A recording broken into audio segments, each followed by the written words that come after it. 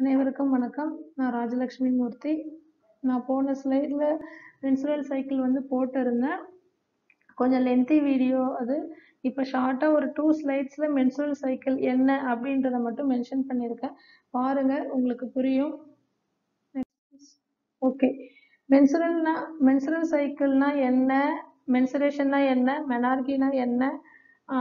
மெனோபாஸ்னா என்ன? இதெல்லாம் வந்துட்டு நான் லாஸ்ட்டாக அப்லோட் பண்ணியிருந்த வீடியோவில் போட்டிருந்தேன்.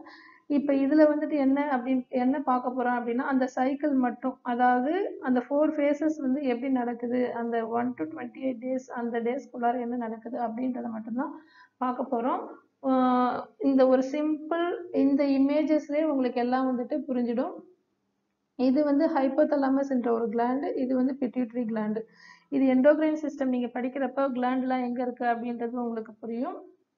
இந்த ஹைப்போதலா ஹைப்போதலாமஸ் கிளாண்ட் என்ன பண்ணுது அப்படின்னு பார்த்தீங்கன்னா ஜிஎன்ஆர்ஹெச் என்ற ஹார்மோனை ரிலீஸ் பண்ணுது. அதாவது கொனட்டோட்ரோஃபிக் ரிலீசிங் ஹார்மோன் இந்த ஹார்மோனை ரிலீஸ் பண்ணுது. இந்த ஹார்மோன் என்ன பண்ணுது அப்படின்னு பார்த்தீங்கன்னா போய் பிட்யூட்ரியை ஸ்டிமுலேட் பண்ணுது. அதாவது பிட்யூட்ரி வந்து மாஸ்டர் கிளாண்ட் அப்படின்ட்டு சொல்லுவோம் பிட்யூட்ரியில் anterior pituitary posterior pituitary this one is anterior this one is posterior இந்த ஆன்டீரியர் பிட்யூட்ரி என்ன பண்ணுது அப்படின்னு பார்த்தீங்கன்னா இந்த ஜிஎன்ஆர்ஹெச் போய் ஆன்டீரியர் பிட்யூட்ரி கிட்ட சொல்லுது.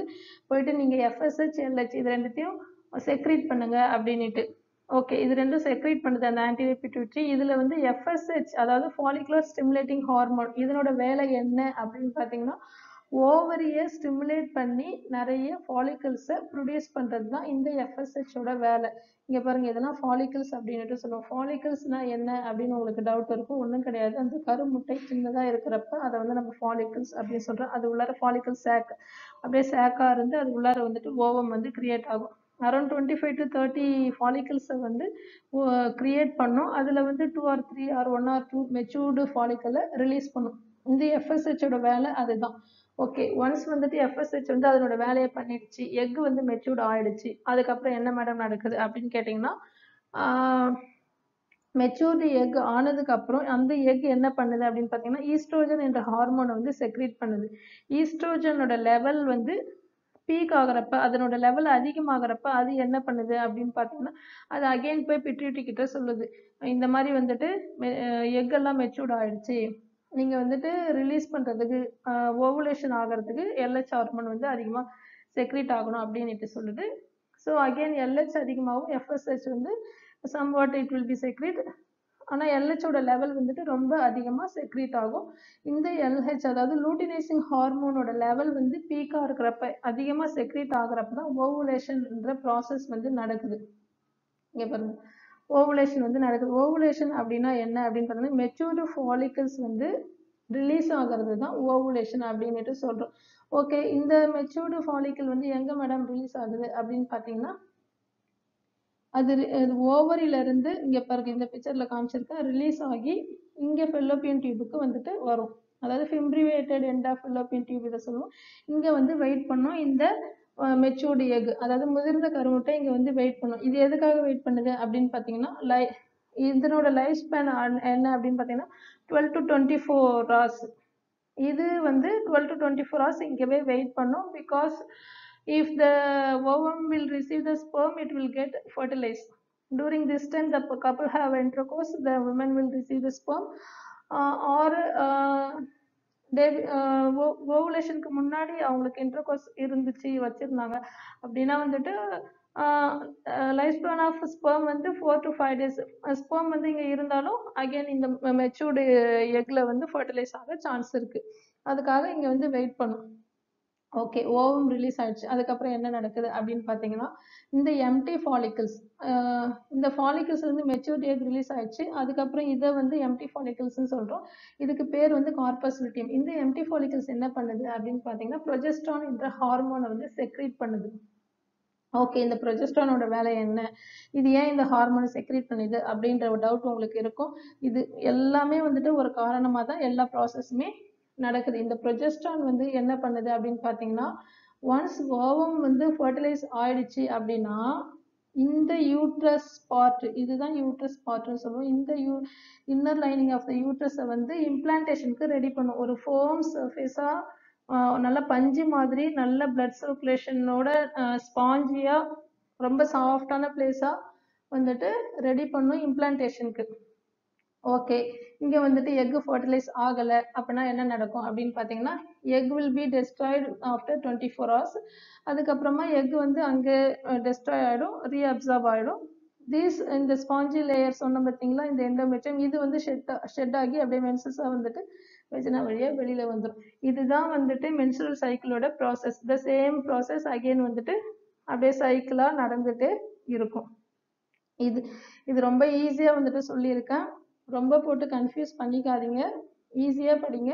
வைவா கொஷின்ஸ் இதில் ஒன்று இருக்குது ப்ரெக்னென்சி மெயின்டைன் பண்ணுறது எந்த ஹார்மோன் அப்படின்னு கேட்டாங்கன்னா இந்த ப்ரொஜெஸ்டான் தான். Once the egg will get fertilise these progesterone hormone will maintain the pregnancy till the HCG hormone secrete egg வந்துட்டு ஃபர்டிலைஸ் ஆயிடுச்சு அப்படின்னா நம்ம பாடியிலேருந்து ஹெச்சிஜி அதாவது அதாவது ஹெச்சிஜின்ற ஹார்மோன் வந்துட்டு ஹியூமன் கொரியானிக் கொனோட்டோட்ரோஃப் அந்த ஹார்மோன் வந்து செக்ரிட் ஆக ஆரம்பிச்சுட்டு இந்த ஹெச்சிஜி ஹார்மோன் ப்ரெசென்ட்டாக இருந்துச்சுன்னா தான் நம்ம ப்ரெக்னென்சி டெஸ்ட்லாம் வந்துட்டு எடுக்கிறோம் பார்த்தீங்களா? இந்த ஹெச்சிஜி ப்ரெசென்ட்டாக இருந்தால் தான் பாசிட்டிவ் வந்துட்டு வரும். இது வரைக்கும் உங்களுக்கு கிளியராக புரிஞ்சிருக்கும்னு நினைக்கிறேன். ஃபோர் ஃபேஸஸ் வந்து நம்ம முன்னாடி பார்த்துருக்கோம். Menstrual phase follicular phase luteal phase then sorry ovulation phase luteal phase ரொம்ப ஈஸி ரொம்ப போட்டு கன்ஃபியூஸ் பண்ணிக்க வேணாம். ஹைப்போதாலமஸ்லேருந்து ஜிஎன்ஆர்ஹெச் வருது. ஜிஎன்ஆர்ஹெச் என்ன பண்ணுதுன்னா பிடியூட்டிலேருந்து எஃப்எஸ்ஹெச் எல்ஹெச் இதை ஸ்டிமுலேட் பண்ணுது. எக் மெச்சூர்ட் ஆகுது. தென் மெச்சூர்ட் ஆன எக்லேருந்து ஈஸ்ட்ரோஜன் செக்ரீட் ஆகுது. அகைன் பிட்யூட்டிக்கு போகுது. பிட்யூட்லேருந்து எல்ஹெச் வந்து அகைன் பீக் ஆகுது. எல்ஹெச் அதிகமாக செக்ரீட் ஆகிறப்போ ஓவுலேஷன் நடக்குது. ஓவுலேஷன் நடந்ததுக்கப்புறம் ஓவுலேஷன் நடந்ததுக்கப்புறம் இந்த எம்டி ஃபாலிகல்ஸ் அதாவது கார்பஸ் லூட்டியம் ப்ரொஜெஸ்டான செக்ரேட் பண்ணுது. If the egg get fertilise pregnancy maintain ஆகுது. இல்லை ஃபர்டிலைஸ் ஆகலை அப்படின்னா வந்துட்டு எண்டோமெட்ரியல் லேயர் ஷெட் ஆகி அகைன் வந்துட்டு மென்சஸ் தென் நார்மலாக ஃபர்ஸ்ட் சைக்கிள் அப்படியே வந்துட்டு ரொட்டீனாக நடக்குது. நம்மளுக்கு இந்த லூட்டியல் ஃபேஸ் அதாவது ஓவுலேஷன் நடந்ததுக்கு அப்புறம் ஓவுலேஷன் நடந்ததுக்கு அப்புறம் மென்சஸ் வர்றதுக்கு முன்னாடி இந்த பீரியட்ல வந்து உங்களுக்கு நல்ல பாடி சேஞ்சஸ் வந்துட்டு தெரியும். ஹெவினஸ் ஆஃப் த பிரஸ்ட் அந்த லோயர் அப்டமெல்லாம் கொஞ்சம் அப்படியே ஃபேட்டியாக இருக்கும். பிகாஸ் ஆஃப் தீஸ் யூட்ரஸ் வந்து ரொம்ப ஸ்பாஞ்சி அப்பியரன்ஸாக வந்துட்டு க்ரியேட் பண்ணுறதுனால உங்களுக்கு அந்த ப்ரெக்னென்சியோட சிம்டம்ஸ் வந்துட்டு தெரியும். ப்ரெக்னென்சினா ப்ரெக்னென்சி ஆயிடுச்சுன்னா ரொம்ப பிரஸ்ட் டெண்டர்னஸ்லாம் வந்துட்டு இருக்கும். பட் இல்லை அப்படின்னா ப்ரீமென்சுரல் சிம்டம்ஸ் இதெல்லாம் வந்துட்டு சொல்லுவாங்க. லோயர் அப்டமன் கொஞ்சம் ஃபேட்டியாக தெரியறது பிரஸ்ட் ஹெவினஸ் அதெல்லாம். இதுதான் வந்துட்டு நார்மல் ப்ராசஸ் இது உங்களுக்கு ஈஸியாக புரிஞ்சிருக்கும்னு நினைக்கிறேன். ப்ளீஸ் இந்த ஸ்லைடில் வந்துட்டு ஒன்லி ஹார்மோன் வந்துட்டு லெவல் எப்போ எது எதெல்லாம் பீக்காக இருக்குது எந்த டைமில் பீக்காக இருக்குது அப்படின்றதுக்காக போட்டிருக்கோம். ஓவலேஷன் நடக்கிறப்ப எல்ஹெச் அதாவது லூட்டினைசிங் ஹார்மோன் அதிகமாகும். ஃபாலிகுலர் ஸ்டிமுலேட்டிங் ஹார்மோன் கம்மியாகவும் செக்ரீட் ஆகுது. தென் ஓவலேஷன் நடக்கிறப்ப ஈஸ்ட்ரோஜன் அதிகமாகவும் சாரி ப்ரொஜெஸ்ட்ரான் ஈஸ்ட்ரோஜன் வந்துட்டு ரொம்ப அதிகமாலாம் செக்ரீட் ஆகாது.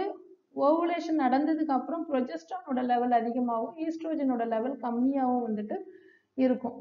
ஓவுலேஷனுக்கு முன்னாடி ஈஸ்ட்ரோஜன் லெவல் அதிகமாக இருக்கும். ஓவுலேஷன் ஆனதுக்கு அப்புறம் ப்ரொஜெஸ்ட்ரானோட லெவல் அதிகமாக இருக்கும். இது வந்து இந்த லூட்டியல் ஃபேஸில் எண்டோமெட்ரியம் வந்து எவ்வளோ பிளட் வெசல்ஸோட நல்ல ஸ்பாஞ்சி அப்பியரன்ஸாக நல்லா ஃபோமாக வந்துட்டு கிரியேட் பண்ணி வச்சிருக்கு. ஃபர்டிலைஸ் ஆகலை அப்படின்னா again it will go to the menstruation again recycle வந்துட்டு ஸ்டார்ட் ஆகுது. இது வரைக்கும் புரிஞ்சிருக்குன்னு நினைக்கிறேன்.